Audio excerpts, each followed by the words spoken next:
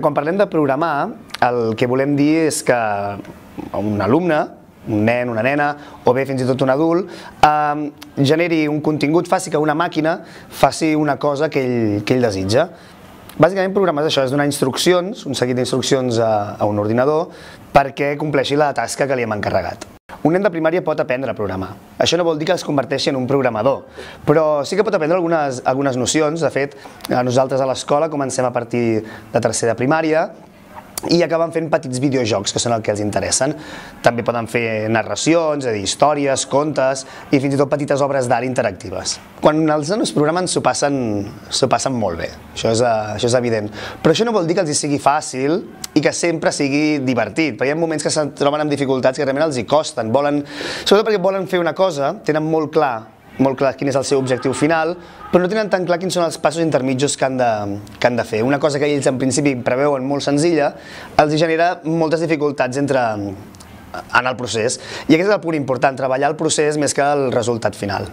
Una de les frases més típiques i més repetides en aquest entorn que diuen el Mitch Resnick, que és un dels creadors de Scratch, és um, igual que a l'escola no ensenyem a escriure per tenir escriptors, no ensenyem a programar per tenir programadors, sinó perquè el fet de programar posa en joc tot un seguit de competències i habilitats que són molt positives per l'aprenentatge detecció d'errors, seqüenciació, planificació i després aquest fet de tornar eh, al mateix problema per anar-lo per anar millorant. Estaríem parlant que quan programem a l'aula, quan fem servir programació a l'escola, el que estem fent és potenciar la competència aprendre a aprendre. Malgrat que mm, amb Scratch es pot treballar de manera individual, aquí a l'escola des, de, des de ja fa 7 anys, el que hem fet és sempre treballar per parelles. Uh, treballem per parelles perquè creiem que els companys entre ells s'ajuden molt i després són grups de Treballem primer per parelles, però després extenem el que han fet a la resta del grup. Cada parella comparteix el que ha fet amb, amb la resta del grup i així poden millorar els seus programes. És molt típic veure en un moment treballant amb Scratch a l'aula que un alumne diu m'ha sortit i dos o tres s'acosten, veuen la seva idea i l'aprofiten i fan un, que en diem un remix, no? Donen una remescla del projecte inicial per millorar, per millorar el seu. Amb Scratch i la programació, a part de la competència aprendre a aprendre, doncs també treballes eh, coneixements matemàtics perquè utilitzes eh, nombres negatius o operacions lògiques i tal. També treballes llengua perquè pot ser una història que tingui un guió. També pots treballar eh, competències artístiques, ja que pots treballar els colors a l'hora de fer una obra d'art. És a dir, la gràcia que té és que la programació engloba engloba molt, molt, moltes de les disciplines de l'aula i permet un treball molt interdisciplinar. A veure, nosaltres vam començar fent un taller de creació de videojocs. Uh, això parlo de fa uns 7 anys, que encara el mantenim, però hi hem anat fent, evidentment, modificacions. Amb aquest taller, que es fa cicle mitjà, tercer i quart de primària, el que preteníem és que els nanos creessin petits videojocs, els hi donàvem jocs que estaven gairebé acabats i havien de fer una petita cosa final. Per exemple, teníem un joc d'una formiga que havia de menjar la poma, mm, tot el joc estava programat, menys els moviments de la formiga, que era el que havien de fer. A partir d'aquestes tasques de, de mida petita, el que aconseguíem és que anessin, anessin agafant nocions de l'entorn d'Scratch i de programació per poder crear ells el seu propi, el seu propi videojoc. També hem fet altres coses, eh? ja quan són més grans hem afegit sensors. Per exemple, molt, molt, molt senzill és el sensor del micròfon. Podem utilitzar el micròfon com a dispositiu d'entrada i quan cridem o parlem alt podem fer que s'infli una pilota o que s'apagui una espelma. En els darrers anys hi ha hagut un augment molt, molt, molt important de l'ús de, de la programació i la robòtica mm, educativa.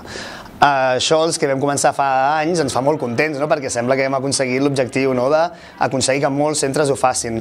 Però alhora, quan les coses estan de moda, ens fan una mica de por, no? perquè no es tracta només de programar o construir un robot perquè el robot es mogui d'una punta a l'altra, fer la foto i que quedi molt bonic que a la nostra escola ho fem, sinó que realment treballar amb robòtica o programació eh, requereix una dedicació molt alta no? I, un, i un objectiu que és el que deia abans, que és no convertir els nens en constructors de robots, sinó que mentre es construeixen el robot el que estem treballant són, són altres coses. El que és bàsic i essencial és la formació del, del professorat. Això també s'ha de dir que en els darrers anys hi ha hagut molta formació impulsada per l'administració i també informació d'entitats privades que han donat aquest, aquest impuls. No? Perquè el problema que hi ha quan fas servir la programació a l'aula és que no tens un sol problema, ni una sola solució. I per tant es genera una gran diversitat de problemes i solucions a l'aula que es fan molt difícils de gestionar. No es tracta tant de que el profe sàpiga programar en si, sinó que sàpiga precisament com, com gestionar doncs, aquests petits problemes eh, que es van donant a l'aula. El, el que és més important és veure que la barrera que tenim no és una barrera tecnològica. El profe no, no, no ha de tenir por a no saber-ne, perquè en sap, en sap, en sap molt. Eh, el que hem de donar és això que deia abans, no? és donar els recursos que no, és, no es necessita ser un gran crack de la tecnologia per poder programar.